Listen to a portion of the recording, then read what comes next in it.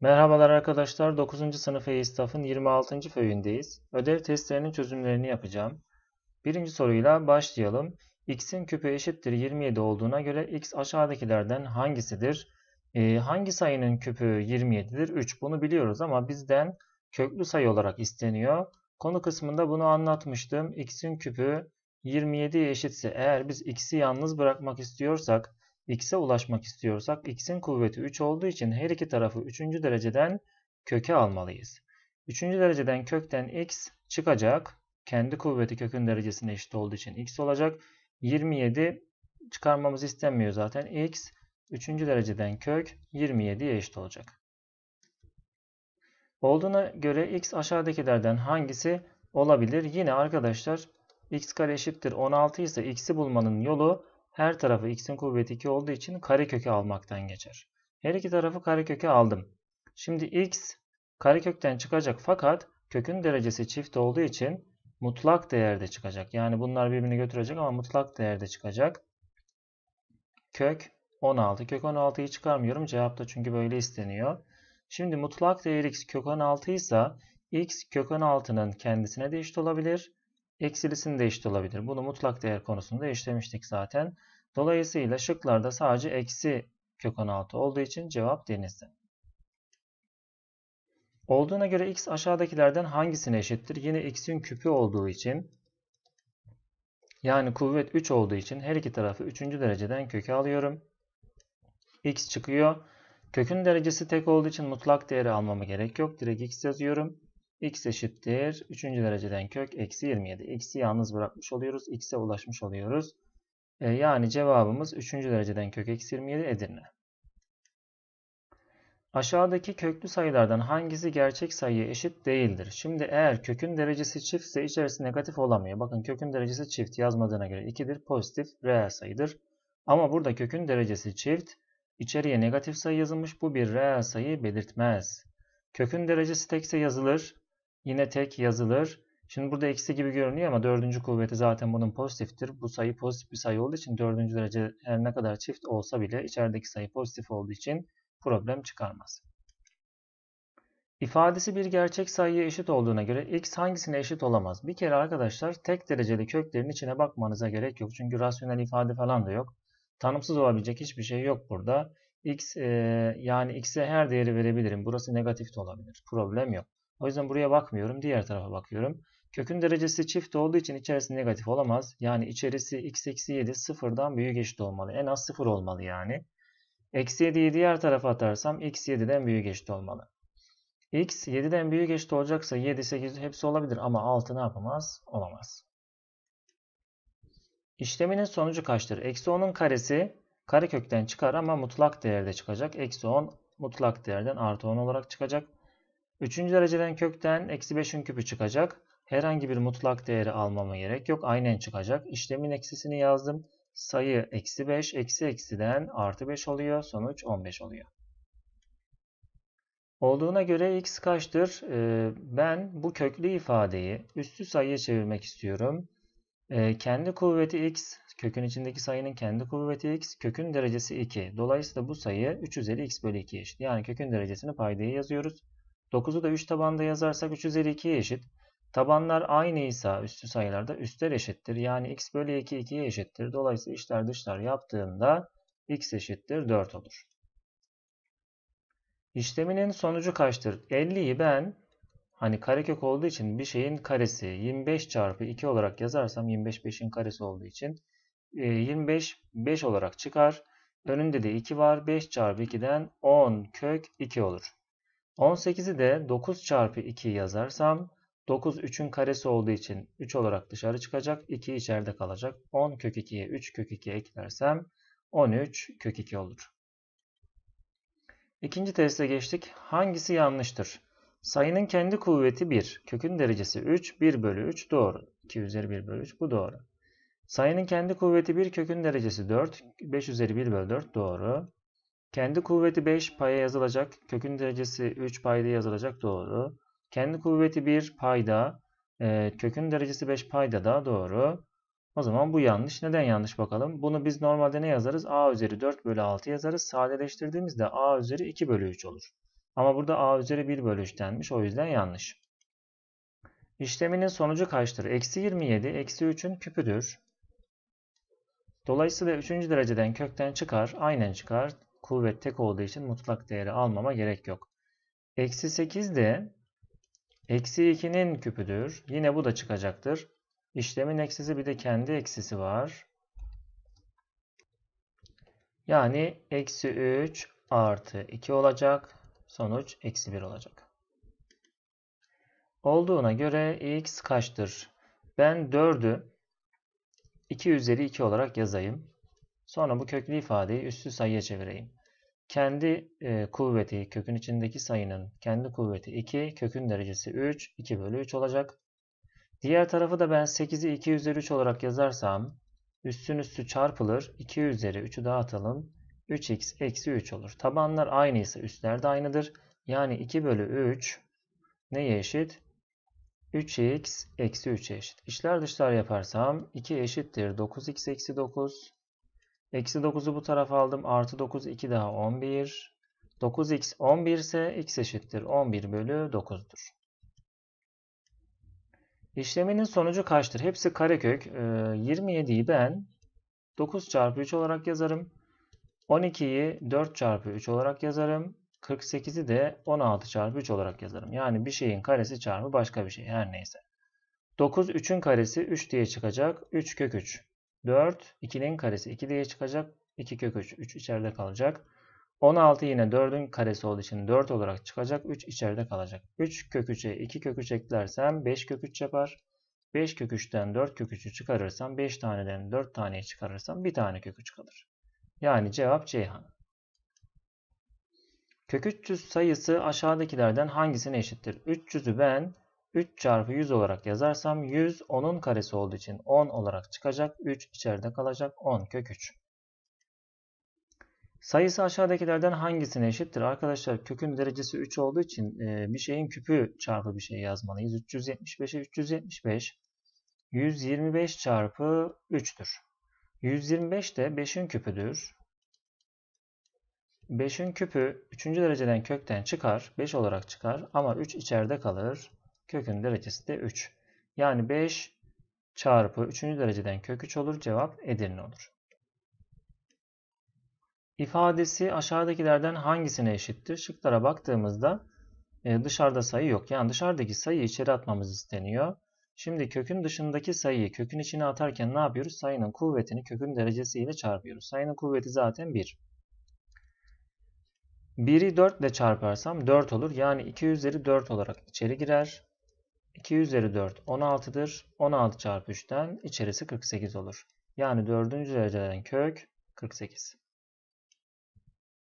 Olduğuna göre aşağıdaki sıralamalardan hangisi doğrudur? Şimdi arkadaşlar sayılar hep negatif. Negatif sayıları sıralarken şu şekilde sıralarsak daha kolay yaparız. Bunları pozitifmiş gibi düşünelim. Sıralamamızı bulalım. Sonra bulduğumuz sıralamayı ters çevirelim. Peki bunları biz nasıl eşitleyeceğiz? Köklü sayılarda ya içler ya kökler eşitlenir. Köklerin derecesi. İçler farklı asallar. Eşitleyemeyiz. O zaman köklerin derecelerini eşitleyelim. 6, 4 ve 3'ün en küçük ortak katı nedir? 12'dir. Hepsinin derecesini 12 yapalım. Şimdi 3. dereceden kök 2'yi kökün derecesini 12 yapmak için 4 ile genişletmem lazım. 4 ile genişlettim kökün derecesini. Sayının kuvvetini de 4 ile genişletmem lazım. Yani 4 ile çarpmam lazım. 2 üzeri 4. Yani 12. dereceden kök 2 üzeri 4'ten 16 oldu A. Gelelim B'ye. Kökün derecesi 4. 3 ile genişletmem gerekir ki 12 olsun. 3 ile genişlettim 12 oldu. Sayının da kuvvetini 3 ile çarpıyorum. 3 üzeri 3 oluyor. Yani 12. dereceden kök 27 oluyor B. C'ye bakacak olursak son olarak e, kökün derecesi 6 12 yapmak için 2 ile genişletmem lazım. 2 ile genişlettim 12. Sayının kuvvetini de 2 ile genişlettim. 7 üzeri 2 oldu. O da 12. dereceden kök 49 oldu. C sayısı. Eğer bunlar pozitif olsaydı köklerin derecesi aynı olduğu için içindeki sayı hangisinin içindeki sayı daha büyükse o daha büyük olacak. En büyük C olduğu için yani C'nin içi en büyük olduğu için en büyük C, sonra B, sonra A olacaktı. Ama bunlar negatif olduğu için sıralamayı ters çevireceğiz. Yani C küçüktür, B küçüktür, A olacak.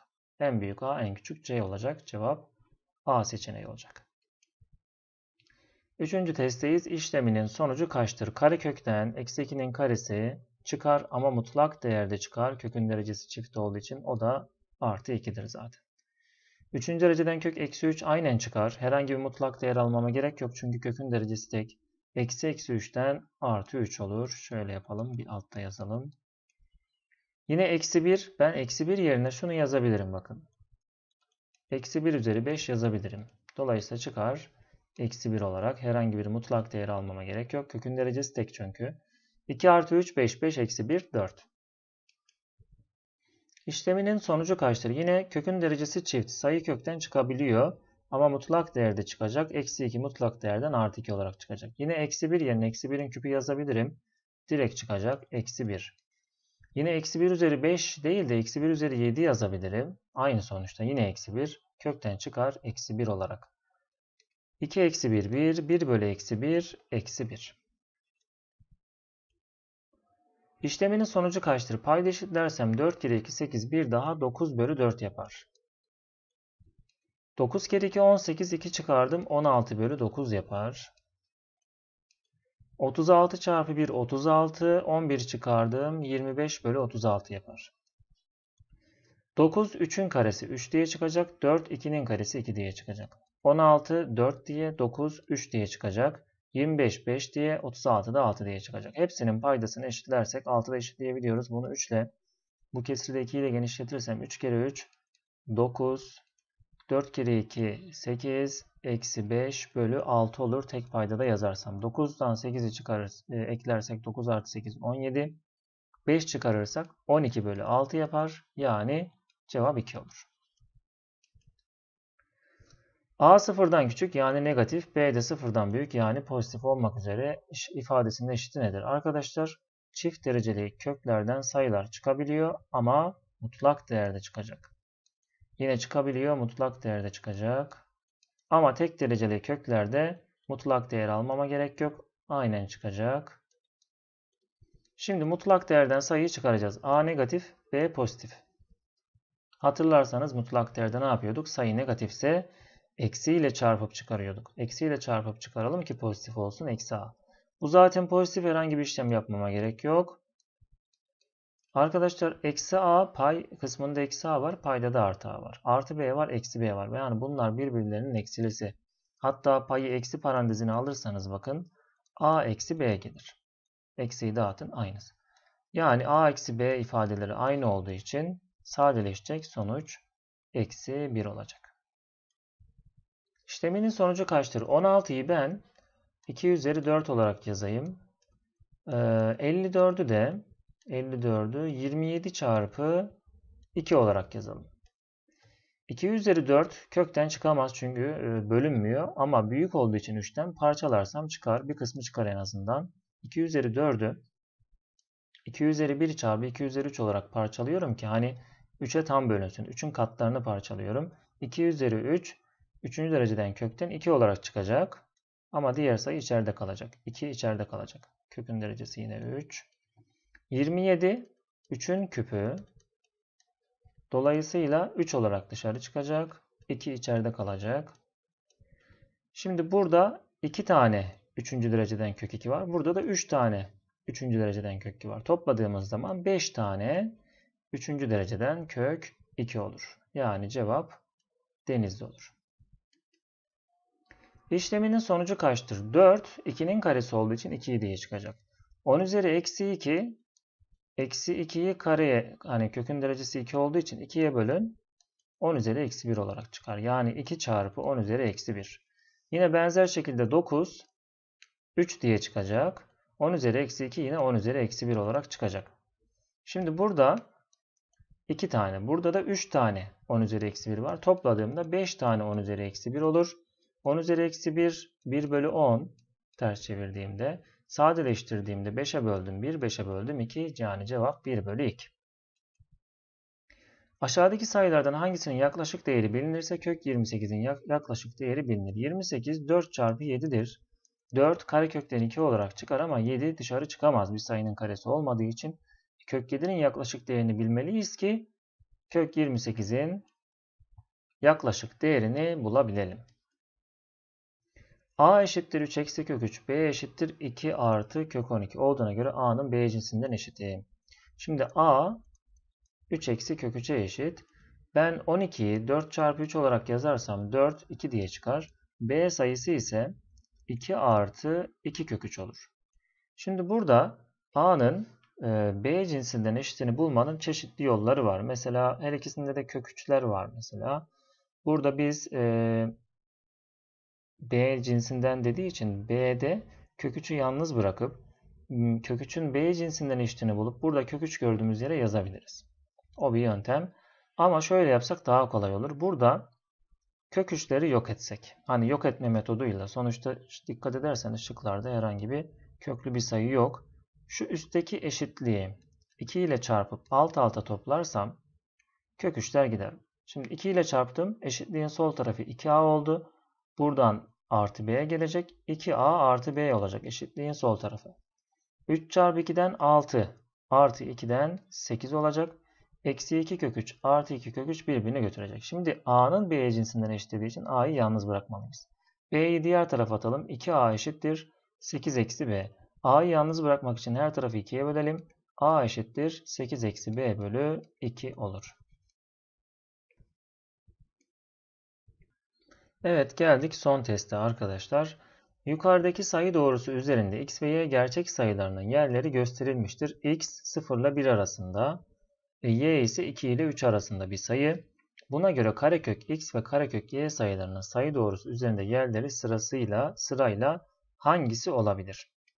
Yani aslında soru şu. 0 ile 1 arasındaki sayının karekökü hangi aralıktadır?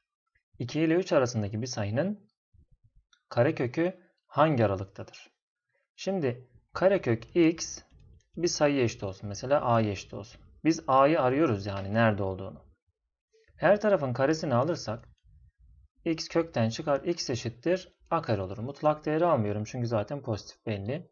Yani biz hani a'yı arıyoruz ya o a'nın karesi x'e eşit olacak. Yani hangi sayıların karesi 0 ile 1 arasında olur? Yine hangi sayıların karesi 2 ile 3 arasında olur. Bunu araştıracağız.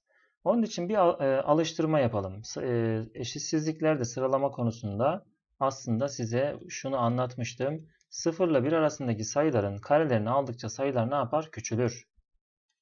Yani bu aralıktaki sayılar sıfıra yaklaşır. Ha birden büyük sayılar da kuvvetlerini aldıkça büyürler. O yüzden bizim aradığımız hani x neyin karesi diyoruz ya x bir sayının karesi ise bu sayının kendisi daha büyüktür 0 ile 1 aralığında. Bunu şöyle bir alıştırmayla yapalım. Mesela 0 ile 1 aralığında birkaç tane sayı alalım. Mesela 0 tam onda 1. Bunun karesini alalım. 0 tam onda 1'in karesi. Hani bu 1 bölü 10 ya. 1 bölü 10 çarpı 1 bölü 10'dan 1 bölü 100 olur. O da 0 tam yüzde 1 olur. Hangisi daha büyük arkadaşlar bakın. 0 tam onda 1 daha büyük. Sayının karesi kendisinden daha küçük.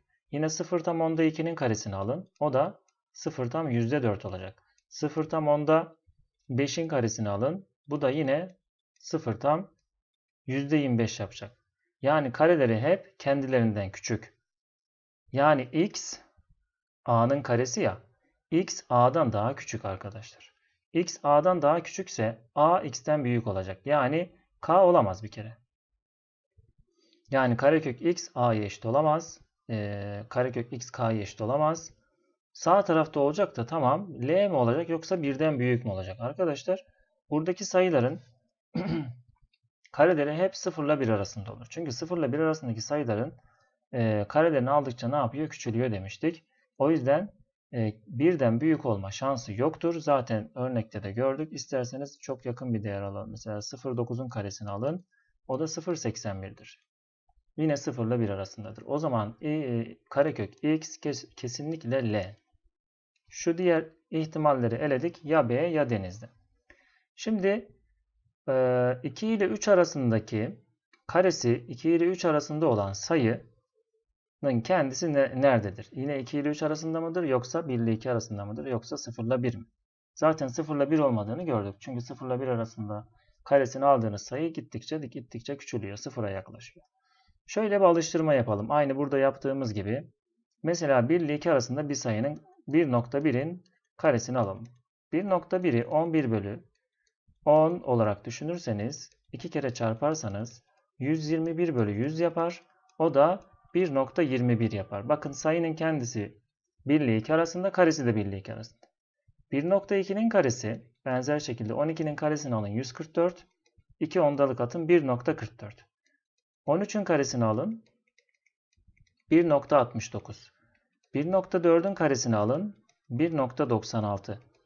1.5'in karesini alın 15'in karesi 2, 225 olduğu için 2,25 yapar. Bakın 1.4'ten e, 4'e kadar sayıların karesi ne yapıyor?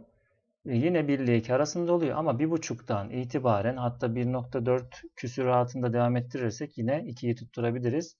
Ama 1.5'tan sonra kesinlikle 2'yi geçiyor. 1.6 olsa karesi 16'nın karesi 256 yani 2,56. 17'nin karesi 2, 289 olduğu için 2,89. 18'in karesi yani 1.8'in karesi 3,24'tür. Bakın arkadaşlar bizim bu y sayımız hani karekök y'yi arıyoruz ya bu y sayısı bir sayının karesine eşit. Karekök y b ise her tarafın karesini al y eşittir b'nin karesi. Biz b'yi arıyoruz. Yani karesi 2 ile 3 arasında olan sayı hangi aralıktadır? Bakın karelerine baktık. 2 ile 3 arasında olan 1.5 var. 1.6 var. 1.7 var. 1.8 3'ü geçiyor 1.8'in karesi. O zaman bu sayı 1.5'tan itibaren 2 aralığında olacak. E zaten bu aralıkta sadece m verilmiş. O yüzden kök y kesinlikle m olacak. Cevap kesinlikle burası olacak. İçinde x pozitif tam sayısının yazılı olduğu en kenarlı bir çokgen ile sayısı tanımlanmaktadır. Ne yapılıyor? Karekök içinde e, çokgenin içindeki sayıyla çokgenin kenar sayısı çarpılıyor. Hangileri rasyoneldir? Kök, e, çokgenin içindeki sayı 12, karekök içinde 12 çarpı çokgen üçgen olduğu için 3 yapacağız. Kök 36 olacak. O da 6'ya eşit zaten. Kökten çıkabildiği için rasyonel. Bir rasyonel. İkinci ifadeye bakalım. Karekök içinde e, sayı 18, çokgen ise 6. 18 çarpı 6 acaba bir sayının karesi mi? Kökten tam çıkar mı? Bunu anlamak için şöyle düşünün. 18'i 3 çarpı 6 olarak düşünün. 6 çarpı 6'dan 6'nın karesi olur. 6 dışarı çıkar ama 3 dışarı çıkamaz. 6 kök 3 olur. Yani bu irrasyoneldir. Rasyonel değildir kökten çıkamadığı için. 45'e bakalım. Karekökü çizdim. 45 ile neyi çarpacağım? Çokgen beşgen olduğu için 5'i çarpacağım. 45'i ben 9 çarpı 5 olarak yazarsam arkadaşlar 9 zaten 3'ün karesi çıkacak. E burada 5 çarpı 5'ten 5'in karesi olacak. 5 diye çıkacak. 3 çarpı 5'ten 15 olacak. Yani bu da rasyonel. Dolayısıyla 1 ve 3 rasyoneldir. Evet geldik 3. soruya arkadaşlar. Bir bankanın mobil uygulamasında hiç yer kalmamış çözmeye. Şifre girmek için sanal klavye ilk olarak aşağıdaki gibi çıkmaktadır. 0, 1, 2, 3, 4, 5, 6, 7, 8, 9. Müşteri şifresini tuşlamaya başladıktan sonra her basışta sanal klavye üzerindeki rakamlar aşağıda verilen kurallara göre yer değiştirmektedir. Kuralları okuyalım. Şifrenin ilk rakamı görünen sanal ekranda basıldıktan sonra ekran böyle çıkıyor. Sonra herhangi bir tuşa basıyoruz. Toplamları 9 olan tüm rakam ikilileri kendi aralarında yer değiştiriyor. 1 ile 8. Mesela başka 0 ile 9. Bunlar bunu bir not alalım çünkü çözümde kullanacağız. Ee, birinci basıştan sonra, birinci tuştan sonra, birinci basamaktan sonra ne oluyor? Kimler yer değiştiriyor? 0 ile 9. 1 ile 8, 2 ile 7, 3 ile 6, 4 ile 5. Hepsini yazdık. Şifrenin ikinci rakamı basıldıktan sonra karekökü tam sayı olan sayılar karekökleri olan tam sayılarla yer değiştirecek. Karekökü tam sayı olanlar. Karekökü tam sayı olanlar neler? Mesela 0. 0'ın karekökü yine 0'dır. Ee, dolayısıyla 0 0 ile yer değiştirecek gibi. Yani 0 aslında yer değiştirmiyor. Yine şuraya yazalım. Yani 0 aynen kalacak. Karekökü kendisine eşit olduğu için. Yine 1, 1'in karekökü 1 olduğu için yine yer değiştirmemiş gibi oluyor. Peki 2 kimle yer değiştirir? 4'ün karekökü 2'ye eşit olduğu için 2 ile 4 yer değiştirir. 3 ile kim yer değiştirir? Yine 9'un karekökü 3'e eşit olduğu için 9 ile 3 yer değiştirir. 0, 1, 2, 3, 4, 5 ile kim yer değiştirecek? 5'in karekökü tam sayı eşit olmadığı için 5 kimseyle yer değiştirmeyecek. Yani 5 yine aynı kalacak. 6 yine aynen kalacak. 7 yine aynen kalacak. 8 yine aynen kalacak. Şunu biraz daha düzgün yazalım. 0 yer değiştirmiyor. 1 yer değiştirmiyor. Normalde karekökü tam sayı ama kendisine eşit. 0, 1, 2, 4 de yer değiştiriyor. 3, 9 da yer değiştiriyor. 5 yer değiştirmiyor. 6 yer değiştirmiyor. 7 ve 8 yer değiştirmiyor. Aynen kalıyorlar. Şifrenin 3. rakamı basıldıktan sonra sanal klavyenin 1. sütunu ile 3. sütun yer değiştiriyor. Yani 3. basamakta da 1. sütunla 3. sütun yer değiştirecek. ABC birbirinden farklı rakamlardır. Şifresi 4 haneli ABBC olan bir kişi sanal klavyenin hep aynı yerine basarak şifresini girmiştir. Hep aynı yere basıyormuş. Buna göre bu şifrenin alabileceği kaç farklı değer vardır? Şimdi arkadaşlar buradaki kritik yer aslında şu. İkinci bastığı sayı ile üçüncü bastığı sayı aynı. Yani ikinci basamakta sayıların yer değiştirmeyen sayılar olması gerekiyor. Ya 0, ya 1, e, ya 5, ya 6, ya 7, ya 8 olması lazım. Yani mesela 0'ı deneyelim. B eşittir 0 olursa diyelim. B eşittir 0 olursa şifre nasıl olacak? A00C olacak. Şimdi bu kişi ikinci bastığı şifre yani ikinci basamak 0 ise arkadaşlar yani ilk bastığı 0 olur mu? İlk bastığımızda ne yapıyorduk? Toplamları 9 olanlar yer değiştiriyordu. Şimdi eğer ben ilk bastığım yer bura olursa 9 buraya gelir. İkinci bastığımda burası 9 olur. İkinci basamak 9 olması gerekir. O halde ilk bastığım 9'un yeri olacak ki 0 buraya gelsin. Yani yer değiştirsin. Ve ikinci bastığım 0 olsun. O zaman ilk bastığım sayı 9 olacak. Yani buraya bastım. Hep buraya basacağım. Hep bu tuşa basacağım. Şimdi canlandıralım gözümüzde. İlk e, bu tuşa bastık 9 çıktı. Sonra toplamları 9 olanlar yer değiştirdi. Buraya 0 geldi. Tekrar 0'a bastım. Karekökü tam sayı olanlar yer değiştirdi. 0'ın karekökü yine 0. Aynı yerde kaldı. Sonra 4, 3.'yü bastım yine 0. 3.'den sonra 1. ile 3. yer değiştirecek. Yani şuradaki sayı buraya gelecek. Buradaki sayı ne olduğunun bir önemi yok aslında da yine bakalım. Belki rakamları farklı tutmayabilir ama bakalım büyük ihtimal tutar. Şimdi bu sayı buraya gelen sayı ne? Şimdi yaptığımız işlemler boyunca bu sayı buraya neler gelmiş? Bunu belirleyeceğiz arkadaşlar. 7 burada 7 vardı. 7 kimle yer değiştirdi? 2 ile. 2 sonra kimle yer değiştirdi? 4 ile. Yani buraya 4 gelmiş. Son basamakta da birinci ile üçüncü yer değiştirdiğinde buraya 4 gelecek. Yani sayımız 9004 olacak. Şimdi geçelim ikinci ihtimale. 0'ı değerlendirdik. 1 olursa B eşittir 1 olursa yani A 1 1 C olursa Şimdi ilk bastığımız sayı ne olmalı ki ikinci bastığımız 1 olsun? İkinci bastığımız sayının 9'a tamamlayan sayı 8. Yani ilk bastığımız sayı 8 olmalı. Şimdi hep buraya basacağız arkadaşlar. 8'e bastım. 8 ile bir yer değiştirdi. Buraya 1 geldi. 1'e bastım. Sonra 1'in karekökü yine 1 olduğu için yine 1'e bastım. Yer değiştirmedi. Son olarak 1. ile 3. yer değiştirdi. Bakın bu ortada olduğu için yer değiştirmeyeceği için yine 1 olacak. E bu durumda e, B ile C aynı olmuş olacak. Rakamları farklı diyor bakın burada. Birbirinden farklı rakamlar diyor. Olamaz. Yani eğer buradan şöyle bir sonuca ulaşıyoruz. Eğer ilk bastığımız sayı ikinci sütundaysa son 3 hane aynı oluyor. Biri de değerlendirdik. 2'yi değerlendirmeyeceğiz. 3'ü, 5'i, şimdi 5'i değerlendirelim. Eğer B 5 olursa A 5, 5, C olacak. 5'in yani ikinci bastığımız 5 olması için 5'i 9'a tamamlayan sayıya basmamız lazım. İlk yani 4'e basmamız lazım. 4'e bastık. 4 ile 5 yer değiştirdi. 5'e bastık. 5'in zaten karekökü tam sayı olmadığı için yer değiştirmedi. Yine 5'e bastık. Sonra şuradaki sayıyla bura yer değiştirdi. Buranın artık 5 olma şansı yok. Orayı tekrar canlandırmıyorum. Bura kesin farklı bir sayı geçtik. Diğer ihtimal 6 olması.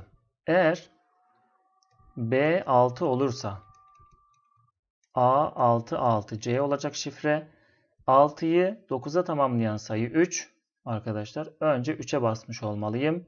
3'e bastım. Sonra 3'te 6 yer değiştirdi. 6. 6'nın karekökü tam sayı olmadığı için aynen kaldı. Yine 6. Sonra buradaki sayı ile buradaki sayı yer değiştirdi. O da farklı bir sayı olacak.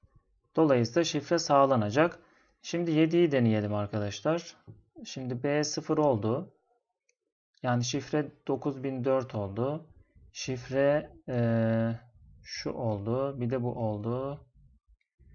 Diğer ihtimalimiz 7 olması. Şimdi 7'yi 9'a tamamlayan sayı 2. İlk bastığımız sayının 2 olması lazım. Bu da ikinci sütunda olduğu için buradan değer gelmeyecek. Denemeyelim. 8'i 9'a e, tamamlayan sayı 8 olduğunda 8'i 9'a tamamlayan sayı 1.